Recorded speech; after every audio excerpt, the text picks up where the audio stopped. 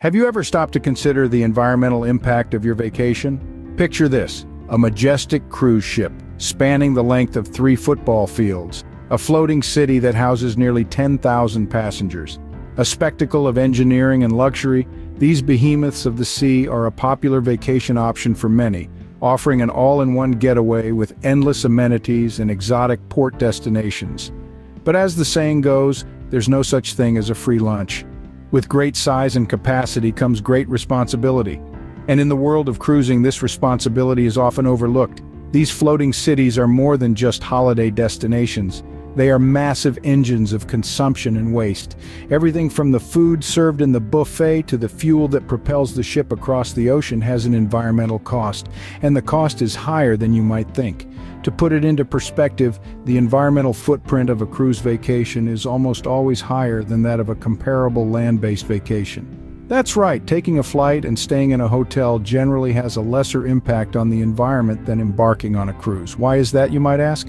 Well, it comes down to the sheer volume of resources consumed and waste produced on a cruise ship. A ship that can accommodate nearly 10,000 passengers doesn't just use a lot of fuel, food, and water. It also produces a staggering amount of waste, including sewage, oily bilge water, gray water, and solid waste.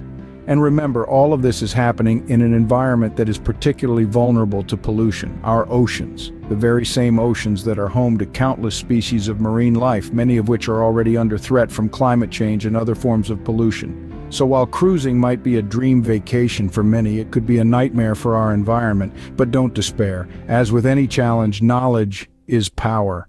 Armed with the right information, we can make better choices that help protect our planet.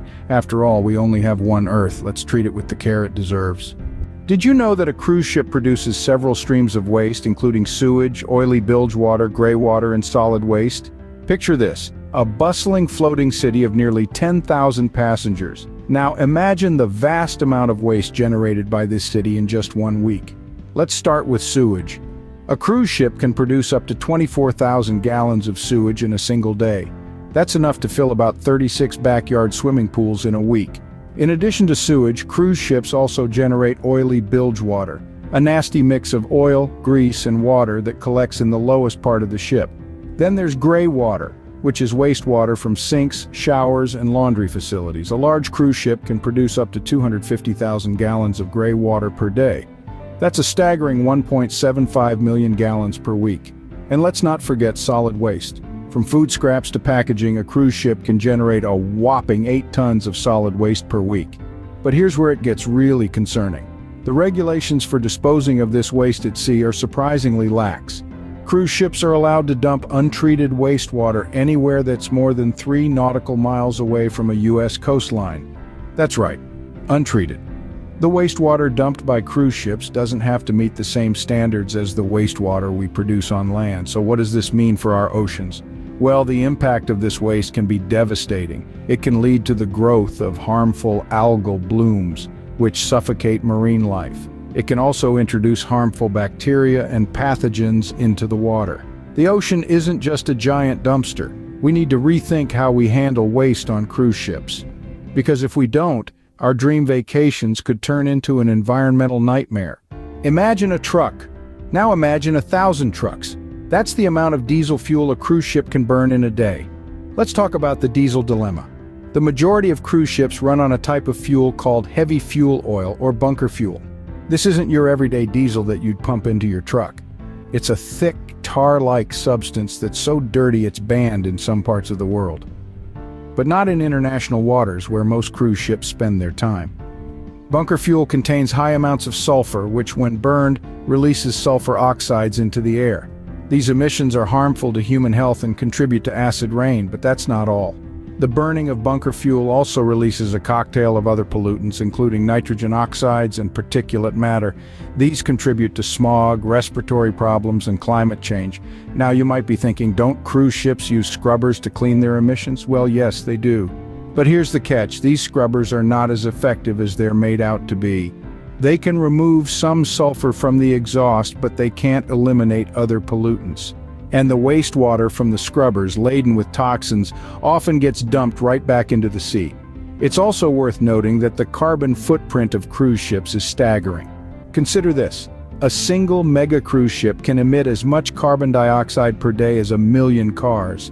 That's a million cars worth of greenhouse gases every single day from just one ship. And with the largest cruise ships capable of carrying nearly 10,000 passengers, the scale of the problem becomes even more evident. Each passenger's share of the emissions is far greater than if they had taken a flight and stayed in a hotel. In essence, cruise ships are the gas-guzzling SUVs of the sea. They're floating cities, burning vast quantities of dirty fuel and spewing out harmful emissions on an immense scale. Cruise ships are floating cities and they're polluting our air like one too. So we have these massive polluting ships, but who's keeping them in check? This is a question that's begging for an answer. The unfortunate truth is that the cruise ship industry is not being adequately regulated, especially when it comes to the scrubbers designed to clean their emissions. Scrubbers, for those who may not know, are devices installed on ships to reduce the amount of sulfur oxide they emit. Sounds great, right? However, there's a catch. The lack of regulation on these scrubbers is a massive problem. There are no strict rules that mandate the efficiency of these scrubbers or the standards they should meet. This means that while some scrubbers may do a decent job, others might barely make a difference. This regulatory gap doesn't stop at scrubbers. The entire cruise ship industry operates under a patchwork of laws and regulations that vary from country to country. In international waters, it's even more of a Wild West. The enforcement of these laws is inconsistent with many ships flying flags of convenience to skirt around stricter rules and regulations. There's also a significant loophole concerning wastewater. As long as a ship is more than three nautical miles away from a U.S. coastline, it can discharge wastewater. This wastewater doesn't need to be treated to the same standards as normal wastewater, potentially leading to serious environmental harm. The diesel fuel used by most cruise ships is another significant issue. This fuel is far worse for the environment than the diesel used in trucks, yet it's still being burned in massive quantities by these floating cities. The lack of oversight and regulation is a glaring issue that needs to be addressed. It's not enough to simply acknowledge the problem. We need stricter laws, better enforcement, and a commitment from the cruise ship industry itself to clean up its act. It's high time we held the cruise ship industry accountable for its environmental impact. The facts are clear. The cruise ship industry is causing significant harm to our environment. With the capacity to hold nearly 10,000 passengers, these floating cities are more than just a symbol of luxury and leisure. They are a significant contributor to the environmental crisis that we face today. It's not just about the high emissions profile, which by the way is worse than flying and staying in a hotel. It's also about the devastating waste streams, including sewage, oily bilge water, gray water, and solid waste.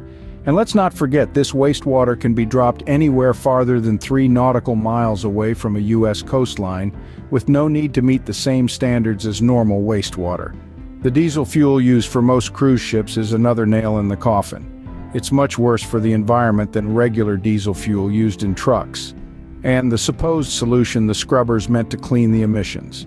Face little regulation. They're essentially a band-aid on a bullet wound. So what can we do? How can we stem this tide of environmental destruction? The answer lies in our collective action and our willingness to make tough decisions. For starters, we need to consider whether the cruise ship industry should continue as is.